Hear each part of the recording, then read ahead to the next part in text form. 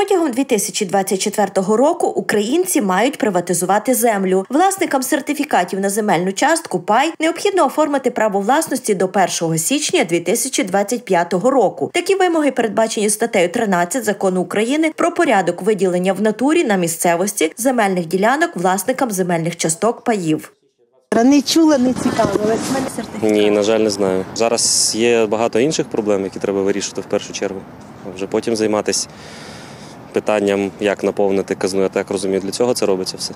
Є така ділянка, у мами була, вона померла, а, ми не, ну, нічого не робили з цими ділянками. І якщо не оформимо, ну, діти не оформимо, то вони просто пропадуть. За 24 рік потрібно, якщо немає геокадастрового номера або не оформлено законно, то потрібно за цей 24 рік оформити, бо інакше перейде у е, власність громад. Виявляється, ця норма закону набула чинності на початку 2019 року. Проте далеко не всі українці про це знають через неефективну інформаційну кампанію.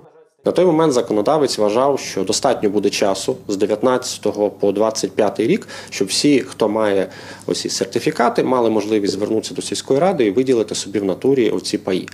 Чому взагалі цей закон приймали? Держава бачила, що велика кількість паїв, десь десь мільйон паїв, е, якби не розпайовані, не виділені в натурі. В той же час вони не можуть нормально використовуватися, бо вони в такому трошки підвішеному стані. Тому держава, от е, Верховна Рада, прийняла закон. Якщо власники сертифікатів вчасно не приватизують пай, втратять земельний наділ. Всі, хто це не зробить, будуть вважатися такими, що відмовилися від отримання е, цього паю у власність. Відповідно, е, зараз лишився буквально вже тут менше року цього часу. І я б всім би рекомендував звернутися відповідно до сільської ради.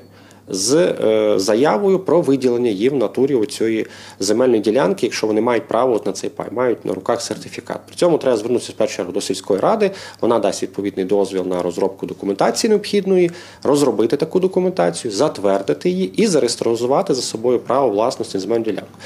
У випадку смерті власника сертифікату на пай родичі повинні подбати про переоформлення документів.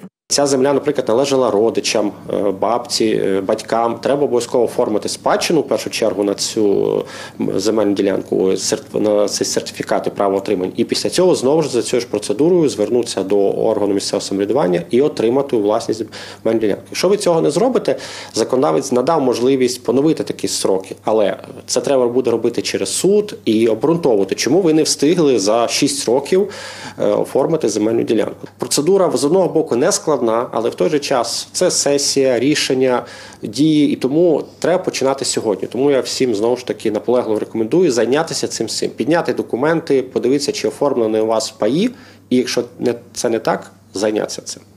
Тож не зволікайте, замінюйте сертифікати на земельні частки на витяги з державного реєстру речових прав на нерухоме майно. Інакше невитребуваний пай після формування у земельну ділянку за рішенням ради громади, на території якої знаходиться наділ, на підставі рішення суду передається у власність громади у порядку визнання майна безхазяйним. А судитися можна, та чи варто, якщо часу вдосталь.